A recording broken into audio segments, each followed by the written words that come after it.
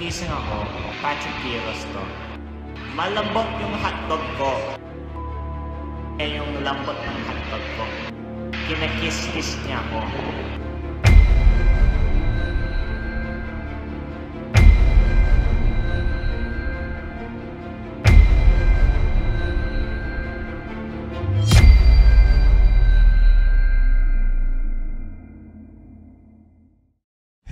30. So, this issue is uh, new. Mainit-init pa. Medyo marami na nagko-comment about this issue ngayon, no? Pero I just think that this, this is something that I want to comment on because it's something that I have personally witnessed. Kaya importante sa akin yung ganitong mga topic talaga. Just a disclaimer, everything that you will hear from this video is uh, alleged. Wala pa namang napapatunayan dito sa mga to. But sasabihin ko rin mamaya why it's important to me na pag-usapan siya. I just want to put this out there, no? Medyo triggered din kasi talaga ako sa mga comments pag nakakakita ako. Anyways, in cases like this, na lagi ko sinasabi sa mga similar reactions na nagawa natin noon, hindi importante kung sino yung kinakampihan mo, kung sino yung biases mo, hindi importante kung kaninong panig ka. Ang importante is that we go for the truth. Whether or not gusto natin yung taong ito o hindi. The truth is what's important para sa akin. And I think para sa lahat, sa totoo lang. So ayun, importante na i-drop natin yung mga biases natin pagdating sa mga ganito. We have this culture or trend din kasi na sinusuportahan din natin yung mga na-accuse by default. No?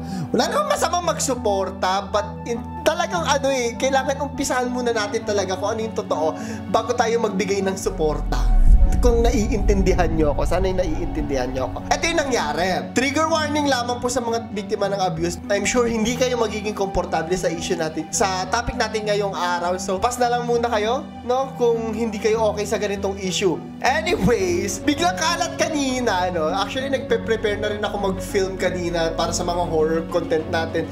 Pero bigla ko nakita tong issue na to between Riz and Patrick Giros. Magpapaka-honest lang ako, hindi po ko talaga sila kilala. Hindi kasi ako nagdi-TV. Anyways, nung una kong nakita, no, natatawa pa ako. Kasi akala ko satire. Akala ko talaga satire siya at hindi totoo. Ah, para bang yung ano, yung kung naaalala niyo yung kay Jobert Sukal dito, hala, ano na naman to. Marami kasing nagpo-post ng ganito na uh, for humor, 'di ba? So akala ko talaga. But as I look deeper, no, sinearch ko, tinignan ko, totoo pala. Totoo pala siya. Ah, medyo na, na, na ano ako, nagulantang din ako. Hindi ako nakapaniwala kasi ma, ma ano, maayos yung itsura nila. Maayos yung itsura nila, lalo na yung yung gumawa. In fact, ang gwapo and hindi paka-honest lang din tayo. All you have to do is ask for consent, 'di ba? Kahit anong gusto mo gawin for as long as may consent. Ano na yun eh, pero mali talaga yung ginawa niya dito. Anyways, ang weird lang para sa akin. So ito yung nakita ko, no? Nabasahin lang natin. I woke up in the morning sa isang, hindi ko alam kung Instagram live pa ito. Nung nagising ako, malambot yung ano ko. Inaano-ano niya ako na malambot yung ano ko. Kinikis-kiss niya ako. Nung nagising ako, hinabol-habol ko siya. Nung nagising ako, Patrick Quiros to. Spilling the tea. Afterwards, ah, I woke up in the morning. Nung nagising ako, as in, ito, roll na roll to. Okay, malambot yung hotdog ko.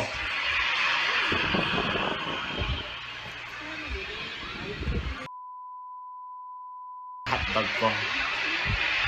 Kinakiss-kiss niya ako. Nagising ako. Nung nagising ako, hinahabol-habol ko siya. Ah, ang mahirap dito, no? Prop sa kanya talaga kasi nag-speak up siya. May mga nakita kasi ako na sobrang nakaka-bother but in reality, ganito kasi talaga yung nangyayari.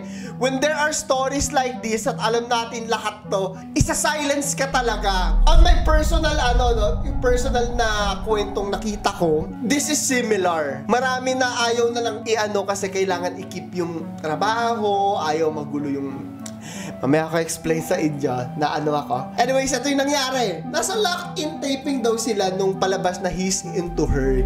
Hindi rin ako pamilyar, so sorry po. Highlight ko lang yung sinabi niya, no? And I think this is important. Sabi niya, his former talent management, Rice Artists, which he accused of holding him back from speaking about that issue, is yes to release a statement. Allegation pa lang naman, no?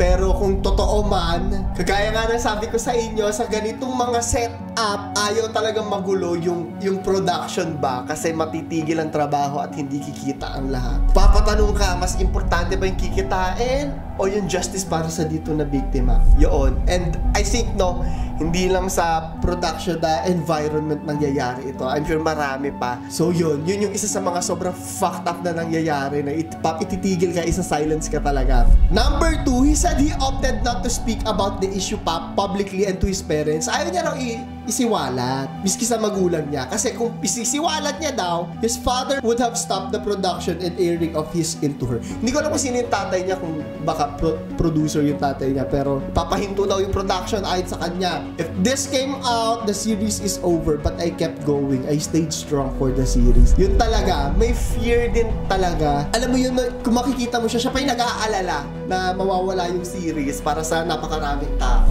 So, sobrang conflict talaga nito on the inside. Kung nakikita niyo yung conflict, medyo magulo talaga para sa kaso ng isang biktima. Maraming iniisip muna.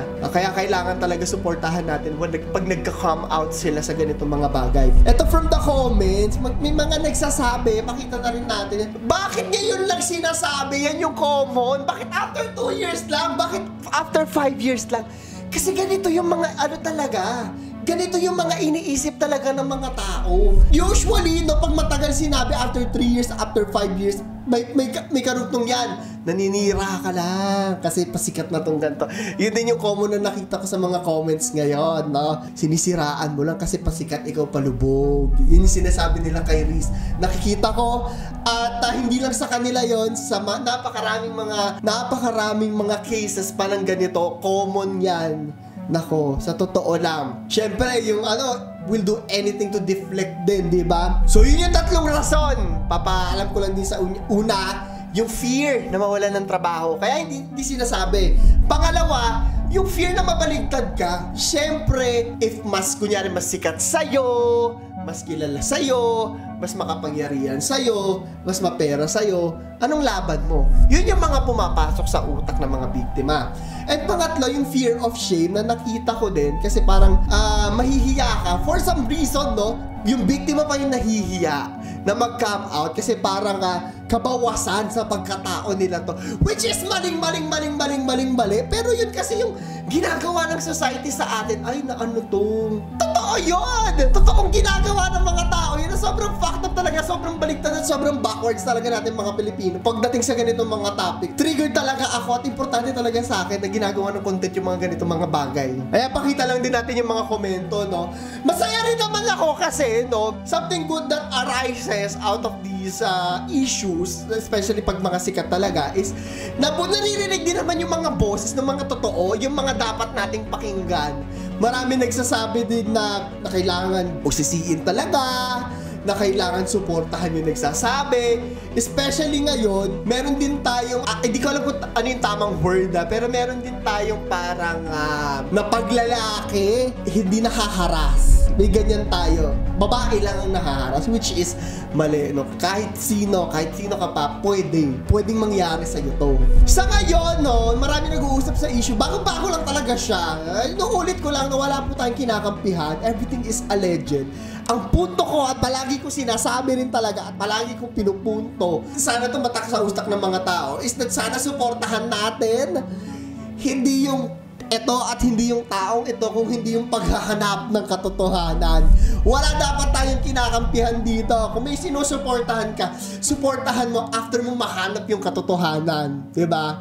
Kasi yung support mo, maaari ang magtakip ng katotohanan para dito. Kasi minamindset din natin yung mga bagay natin pag may mga biases tayo. So, importante na ang unang-unang dapat suportahan natin ay paghahanap ng katotohanan at hindi ang kung ano-ano. Yan lang naman. Ah, medyo masaya lang din ako kasi the fact that uh, this is something that dinidiscuss sa social media, we're stepping at the right direction, no?